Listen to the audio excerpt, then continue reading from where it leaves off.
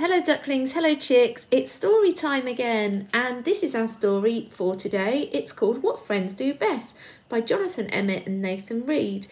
Now, these friends help each other out lots and lots, so I hope that's what you do too when your friends need you. Anyway, sit back, relax, and enjoy. Winston was great at building things. He was always building something for somebody. He had built a car for himself, a boat for Alice, and a motorbike for Ralph. He had built them all by himself. Building things is what I do best, said Winston proudly, and everyone agreed. One morning, Ralph and Alice popped by and found Winston in his workshop looking very pleased with himself. I'm going to build something big, Winston told them, and he showed them a drawing. That is really big, said Alice. Are you sure you can build it all by yourself? Of course, said Winston. Building things is what I do best. The next morning, three trucks arrived and delivered hundreds of bits and pieces. Some of the bits were very large and difficult to carry. Can I help? asked Ralph. I'm good at carrying large things. It's all right, said Winston. I can do it myself. But some of the bits were so large that Winston couldn't carry them. The next day, Winston started sorting through the smaller pieces.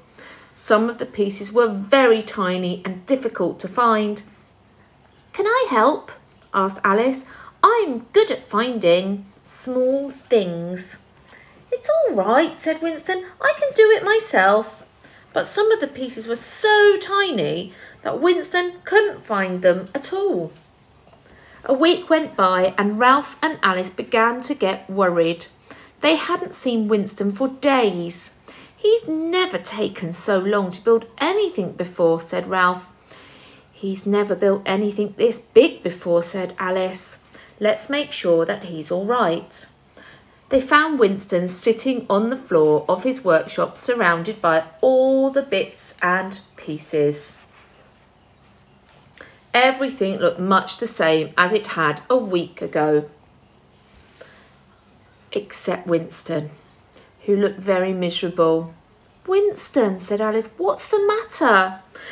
Everything, said Winston. Look at all these bits and pieces. Half of them are too large to carry, and the other half are too small to find.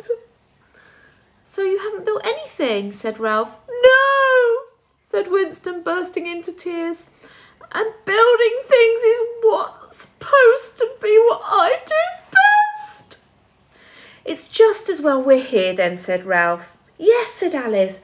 Where can we start? Don't bother, said Winston. I'll never build it. Nonsense, insisted Alice. All you need is a little help.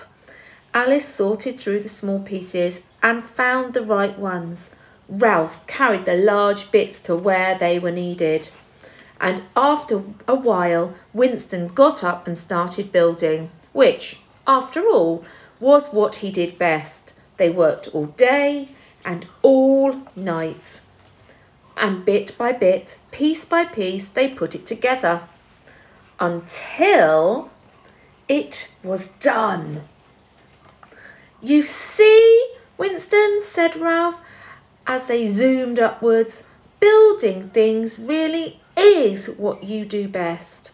But I couldn't have done it without your help, said Winston. Well, laughed Alice, and she winked at Ralph. Helping is what friends do best. Children, what a lovely story and something really important to remember, isn't it? That friends can always help each other out. I hope you enjoyed that one. That's all from me for story time today, and I look forward to sharing another one with you tomorrow. So until then, take care. Bye.